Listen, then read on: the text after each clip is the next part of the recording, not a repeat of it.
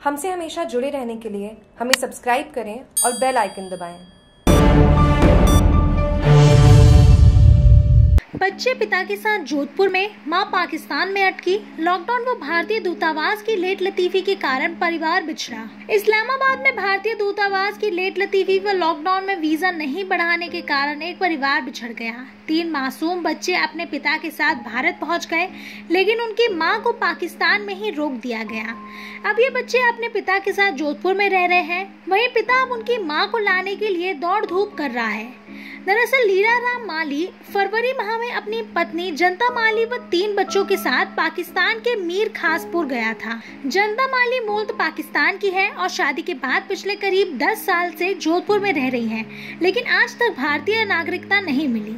पाकिस्तान में जनता माली की माँ की तबीयत खराब थी, जिसकी कुशल क्षेम पूछने के लिए पूरा परिवार गया था। इस बीच कोरोना के कारण भारत पाकिस्तान के बीच चलने वाली ट्रेन बंद हो गई।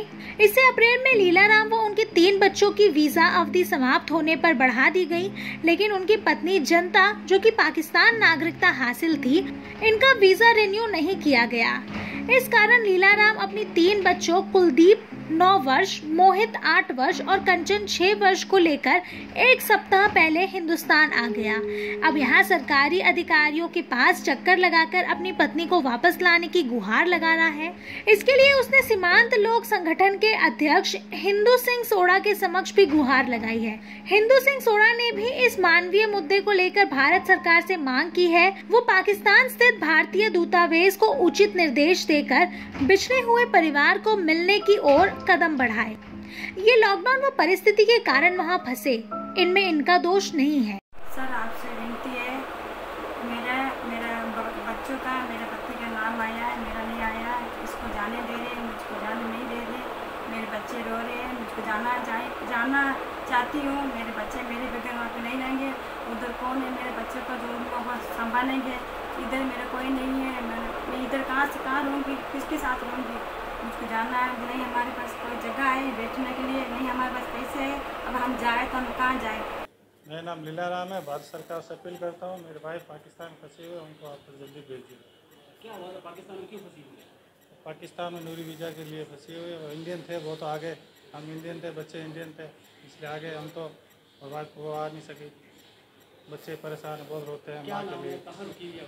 मीरपुर खास में रुकी है जनता नाम वाइफ का सर, मेरी आपसे विनती है, ये पूरी फैमिली पाकिस्तान घूमने आई थी और करोना की वजह से ये यहाँ पर फंस गए हैं। पाँच महीने हो चुके हैं यहाँ पर बैठे हुए हैं और ये अभी लाहौर में है। पाँच छः दिन हो चुके हैं और इन पति का, उन बच्चों का लिस्ट में नाम आया हुआ है और इनकी बीवी का लिस्ट में नाम आया नहीं है और ये पाँच छः दिन से लाहौर में परेशान है और बच्चे अपनी माँ के लिए लो, रो रहे हैं। उनको पाकिस्तान वाले बॉर्डर क्रॉस करने नहीं दे रहे हैं। सिर्फ़ बच्चे और उनके पति जा रहे हैं और बीवी भी बहुत परे, परेशान है। बच्चे भी रो रहे हैं अपनी माँ के लिए। मेरी आपसे विनती है कि मेहरबानी करके इनको यहाँ से लेकर जाएँ। परिवार जो कि जोधपुर में रह रहा है वो अपने रिश्तेदारों से मिलने के लिए यहाँ से पाकिस्तान गया। फरवरी की बात है। और उसमें से जो लीलाराम माली हैं और उनके तीन जो मासूम बच्चे हैं ये तो भारतीय नागरिक थे और उनकी जो पत्नी है जानता वो आ, पाकिस्तान की सिटीज़न है लेकिन लॉन्ग टर्म वीज़ा पर आप ताजुब करेंगे 12 साल से यहाँ पर रह रही है। और वो यहाँ पर एक जो प्रोविज़न है कि अगर पाकिस्तानी सिटीज़न वहाँ जाना चाहता है तो उसके लिए NORI visa no objection on return to India का है प्रावधान है।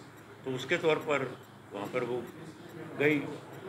अब वहाँ पर लॉकडाउन हो गया और लॉकडाउन की वजह से जो है वो सब लोग वहाँ पर रोके गए।